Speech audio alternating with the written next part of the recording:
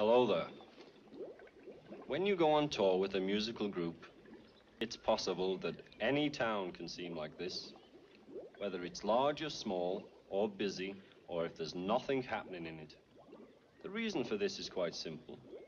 A musician, if you consider the normal pattern of modern civilized life, is on the outside of it all. He doesn't build things, he doesn't work regular hours like a decent God-fearing citizen, and the life he leads in many ways seems useless and irrelevant to those of us who prefer a quiet evening in front of the television and a bottle of beer. Amazing as it might seem to some of us, musicians have basic physical needs, just like real people.